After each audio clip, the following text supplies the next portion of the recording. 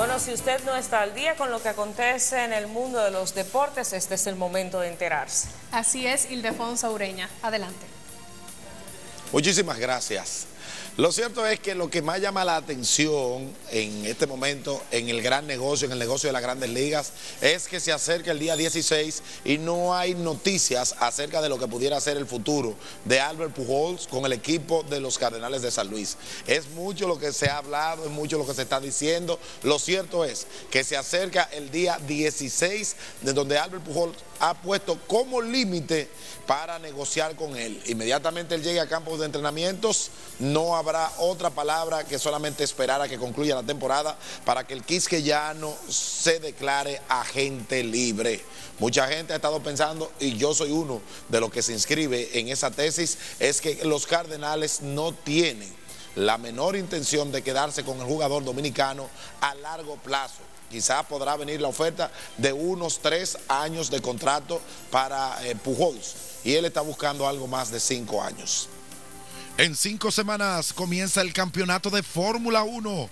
Es todo lo que resta para ver los bólidos en la acción el premio Fórmula 1, en donde los fabricantes ponen todo su esfuerzo junto a los mejores pilotos para llenar de alegría y de emoción a los amantes de la velocidad.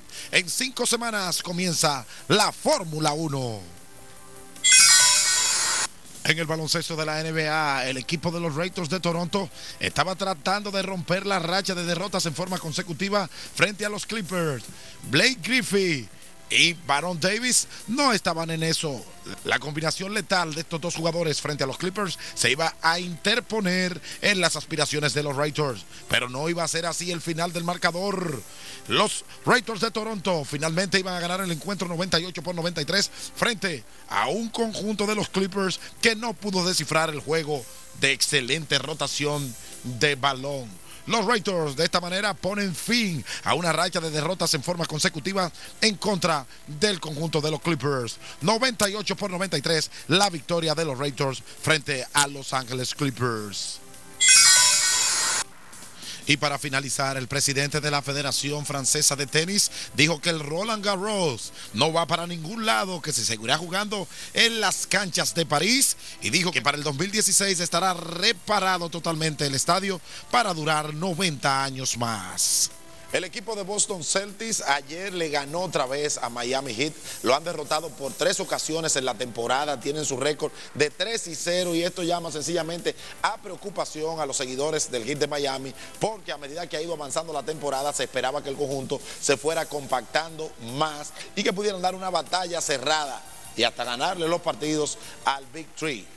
Bueno, y vamos a cambiar rápidamente de tema para complacer a Inmaculada Cruz Hierro. Alex Rodríguez estaba el pasado sábado en la exaltación del Salón de la Fama de Béisbol Latino en La Romana, acompañado de Cameron Díaz. Qué bien, así debe de ser. Eh, buena compañía, en un buen evento, definitivamente. Más detalles con Inmaculada Cruz Hierro. Por el momento, es todo lo que tenemos en deportes. Continuamos.